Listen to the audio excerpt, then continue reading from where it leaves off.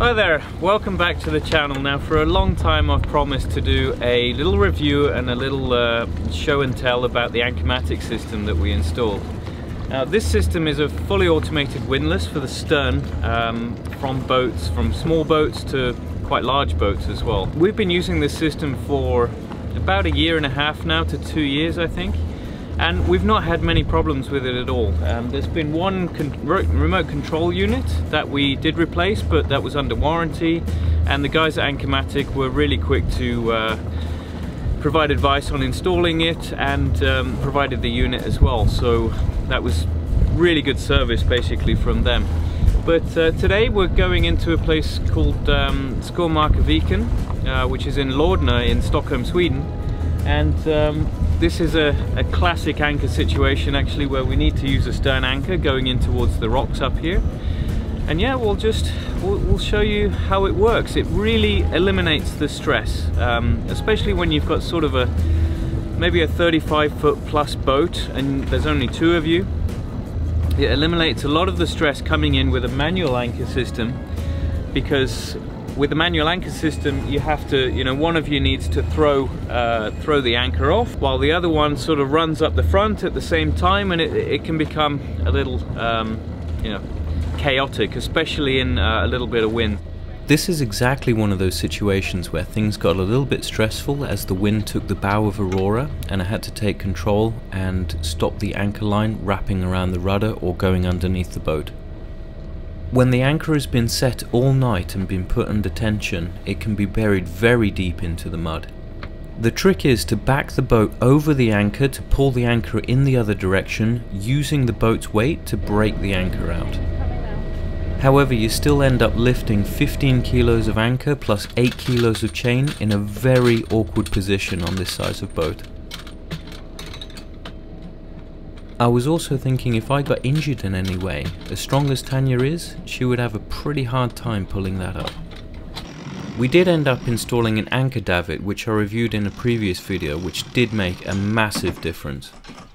Of course with this setup you do have the option to use a winch as well, but when manoeuvring it would have been quite a tricky setup, so I usually ended up pulling it by hand.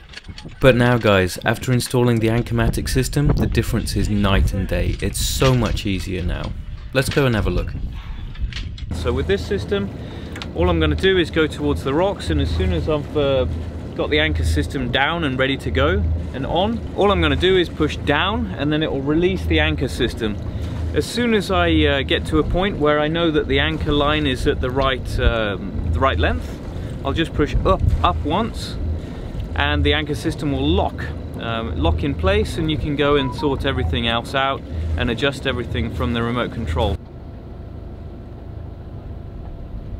So right now it looks like uh, we're just going to go and moor in somewhere alongside over there next to our friends. Should be a relatively easy process. So as you can see on the anchor davit itself, I've just installed a little rope with a little jammer there just to hold it up when not in use, and it's easy to let down just before you go in and lay the anchor. The rope also acts as a little bit of support as well for the davit, but it's not necessary. Okay, you need to go in at an angle yeah. towards Rickard. Yes. There is a massive rock. Okay. Okay? Yeah. So you need to go in this way. So the anchor should be over there. Chris, I'm just gonna get the stairs down.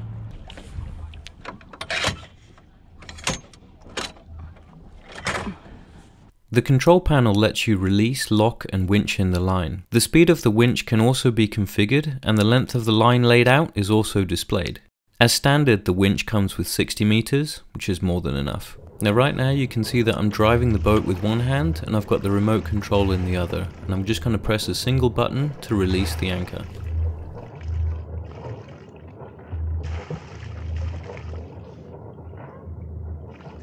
Once released, the anchor will keep paying out until you press the up button to lock the clutch.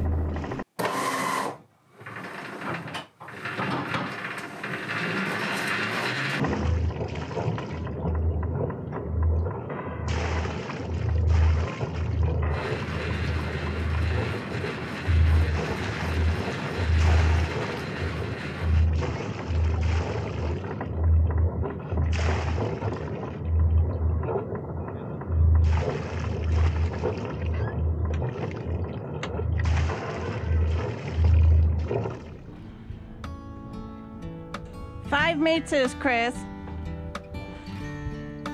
Hey. Klar. Rope on land, Chris. Stop.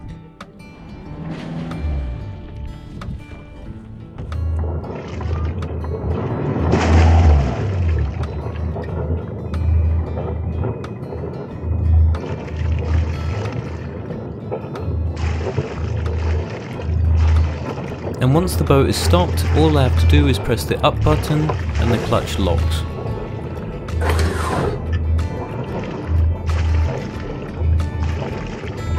Can you take the bow thruster and go there? Starboard. Hej. Hej. Men ni är precis där ser jag, så det är liksom Ja. egentligen inte någon fara när vi bara Nej. komma in.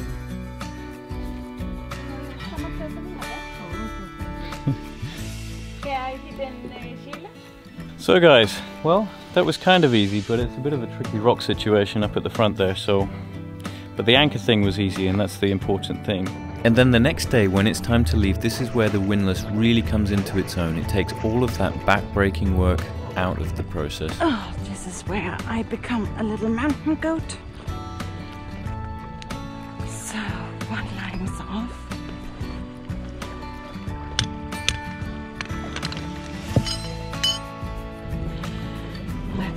We can get on board.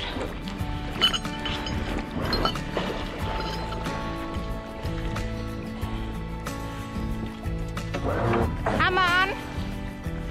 Reverse straight out. There's a rock down there. I don't know if you guys can see it.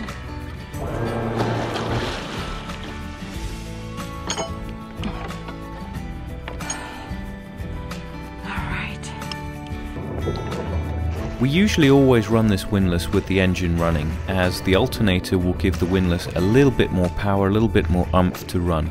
Of course, you can run it without the engine running as well, especially if you're leaving early on a morning, for example, and you don't want to disturb anyone. You can also slip out that way.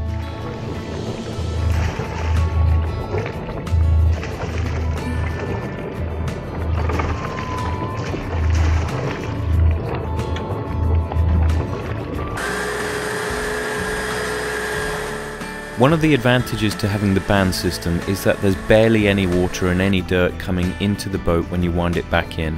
The shotline system, which is common on a lot of boats in Sweden, brings in a lot of water into your lazarette. One of the other questions I had before buying this system was how is this going to work without a chain attached to the anchor? The chain on the seabed typically takes away the snatch from the anchor itself, so it doesn't rip it out of the mud.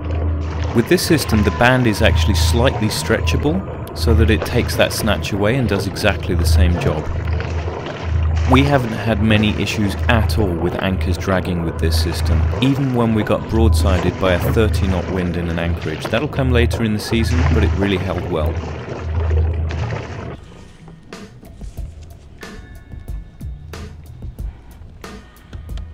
Okay. Bye bye. As you can see, the anchor has just come up to its wash position, so you can drive out of the anchorage with the anchor dragging behind and it will wash all the mud off. By doing this, the Bruce anchor will automatically right itself.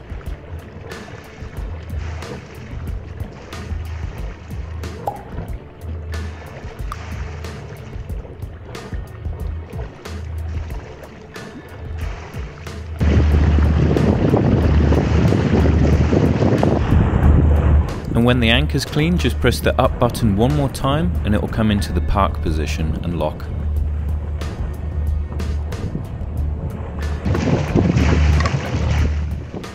Thanks very much for watching guys. I hope if you're looking for a stern windlass this has really helped you answer a lot of those questions that I had when buying one. In full disclosure we did get a discount from Anchormatic but my review is honestly very unbiased. We really like this system. And of course, if you have any questions or have any comments, feel free to ask. Cheers, guys. See you next time.